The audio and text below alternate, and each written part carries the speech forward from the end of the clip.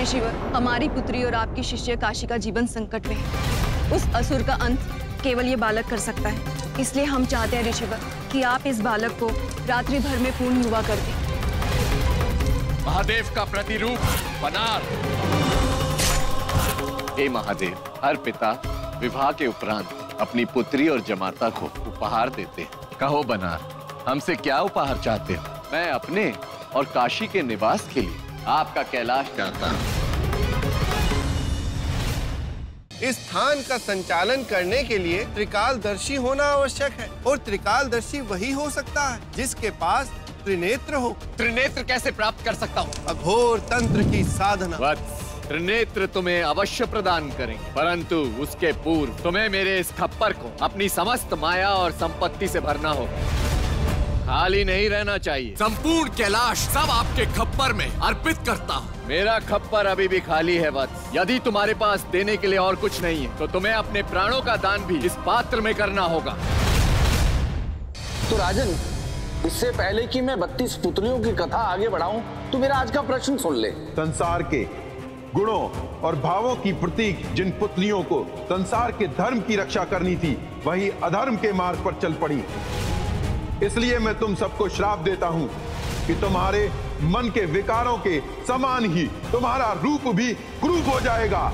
राजन, मेरा प्रश्न है कि ब्रह्मदेव के श्राप से उन बत्तीस पुतलियों की मुक्ति किस प्रकार होगी? विक्रम बेताल में अगले हफ़्ते देखिए कैसे करती है रक्त मंजरी और स्वप्न सुंदरी। दो लोकों पर यदि विजय तुम्हें पाताल लोक इतना ही प्रिय है तो आप हमसे विवाह करके अपना संपूर्ण जीवन पाताल लोक में बिता सकते हमने प्रण लिया हम विवाह उसी से करेंगे जो हमें पराजित कर हमें जीत ले। लेकिन हाँ यदि आप हमसे पराजित हो गए तो आपको हमारी दास्यता स्वीकार करनी होगी। आपको क्या लगा? ये संपूर्ण पृथ्वी आपको सौंप देंगे हमें पृथ्वी के चक्रवर्ती सम्राट हैं देवी। कोई रूप हमें लुभा नहीं सकता। इसलिए हमें आपका नियम स्वीकार नहीं। तो अब बता राजन ब्रह्मदेव के श्राप से इन पुतलियों की मुक्ति कैसे होगी? बेताल आज हम अपना मुँह नहीं खोलेंगे। चाहे तुम जितना प्रयास कर लो इस प्रेत घाटी में आज ये तुम्हारी अंतिम रात्रि है। कुछ भी हो जाए मुझे कोई प्रेत घाटी से नहीं ले जा सकता। मुझे वापस लौटना ही होगा। मैं उड़ क्यों नहीं पा रहा हूँ। ये तूने क्या कर दिया विक्रम? छोड़ दे मुझे। मेरे 1100 वर्षों की प्रतीक्षा आज समाप्त होने वाली है। आज विक्रम बेताल को लेकर यहाँ आने वाला है।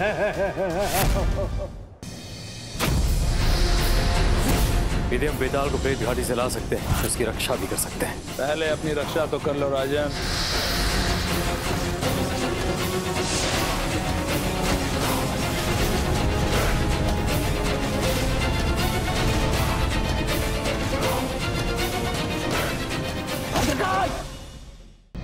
यही है वो बत्तीस पुतलियाँ जिनके बारे में बेताल हमें कथा सुनाई थी।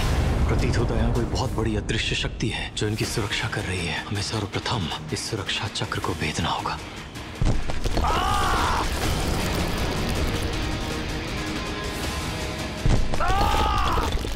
क्या हो रहा है? कौन है संसार में जो उन पुतलियों तक पहुँच सकता है? तुम्हारा अंत निश्चित है भद्रकाल मेरा अंत देखने के लिए तुम जीवित नहीं बचोगे बेताल। महाराज हमें एक बात समझ में नहीं आ रही। यदि भद्रकाल का अंत हो गया है तो बेताल कहाँ गया? महारानी बेताल अपने उचित स्थान तक पहुँच चुका है। सहस्त्र वर्षों से हम पुतलियाँ श्रापित हैं। हम अपने इस श्राप से मुक्ति चाहते हैं। अपनी मुक्ति चाहिए। तो ठीक वैसा ही करो जैसा मैं कहता हूँ। आओ सब मिलकर निश्चित करें। विक्रम और बेताल का अंत।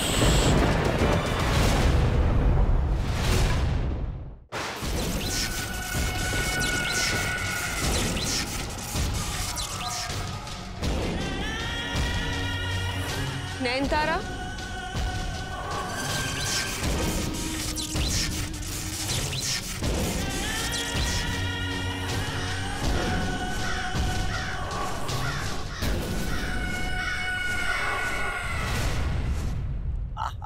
मलमल की शैया! चांदी का फूलदान! ये सोने का श्रृंगारदान और ये दर्पण!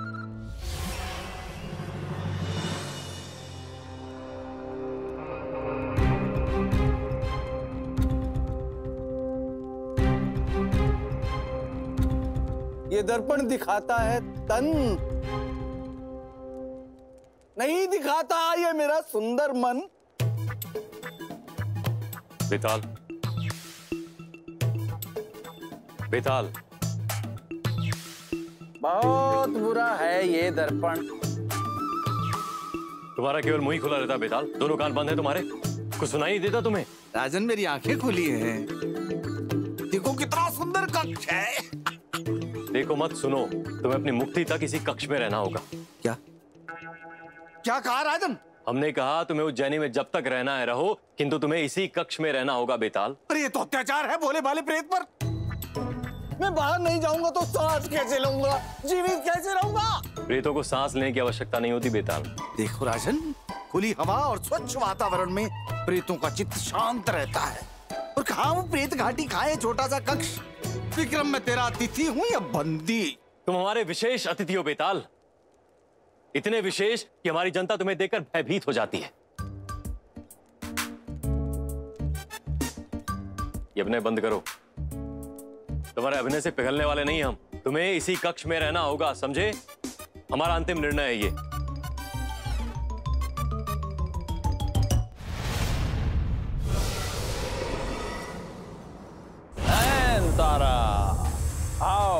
आओ नैन तारा? आ गई तुम। मैं यहाँ तुम्हारे कार्य के लिए आई हूँ भद्रकाल।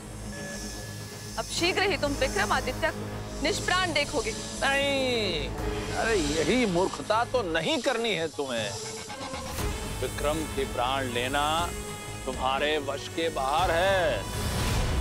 तुम केवल इस महल के बाहर उस बेताल को लाने का प्रयास करो। बस और कुछ भी नहीं। बस इतनी सी बात मैं ऐसा भी रचूँगी कि विक्रम स्वयं उस बेताल को बाहर निकालने पे विवश हो जाएगा।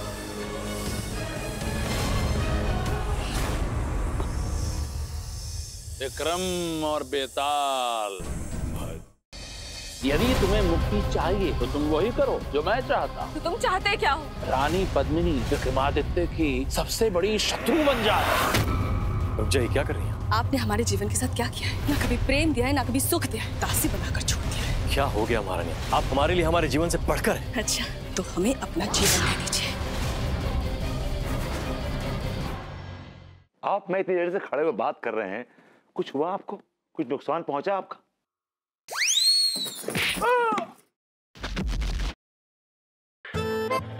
इतनी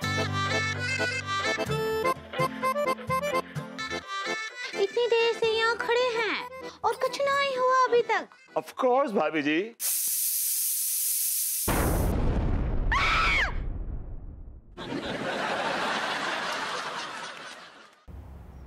अरे ये तो माधव भैया का वॉलेट है ना? पर ये तेरे रूम में कैसे आया?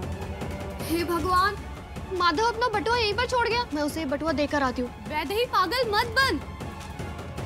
अरे मम्मी वो वैदा ही निकल गई। क्या मतलब? कहाँ निकल गई? माधव भैया का वॉलेट देने के लिए दिल्ली निकल गई मम्मी। इतने बड़े शहर में जाएगी खुद ब खुद खो जाएगी। भैया थोड़ा जल्दी चलाओ ना।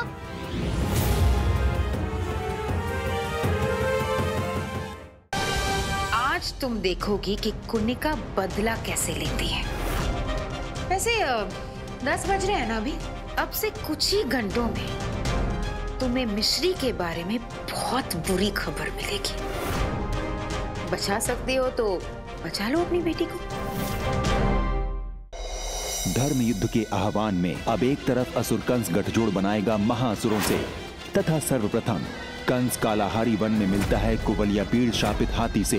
दूसरी ओर श्री कृष्ण धर्म युद्ध की शिक्षा ग्रहण करेंगे ऋषि संदीपनी से। मुझे ऐसी शिक्षा दीजिए ऐसा ज्ञान दीजिए जिससे मैं संसार से कंस जैसे पापी और असुरी शक्तियों का नाश कर सकूँ।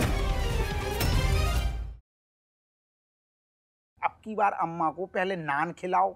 फिर चाकू दिखाओ फिर दौड़ाओ। पगला है क्या जो डॉक्टर? ठीक है डॉक्टर है अपन से ज़्यादा जानकार है। हम नहीं जानत। तुम्हें जो करने तुम सो करो। हम नहीं साथ दिए तुम आओ तुम ना चाहती कि अम्मा ठीक हो जाए? देखो हम खूब चाहते कि अम्मा ठीक हो जात लेकिन हम ये नहीं चाहत कोई तुम्हें कुत्तन सो पीटे। तुम चिंता ना करो अब की बार बढ़िया सो प्लान करेंगे और अम्मा को दौड़ा के मानेंगे। अगर तुम्हें जो ही ठीक लग रहा हो तो जो ही सही। साथ दिए तुम आओ